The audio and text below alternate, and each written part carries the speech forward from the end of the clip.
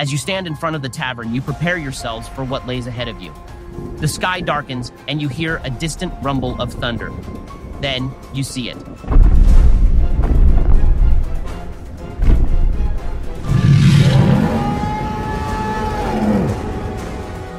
Is that Rosie O'Donnell?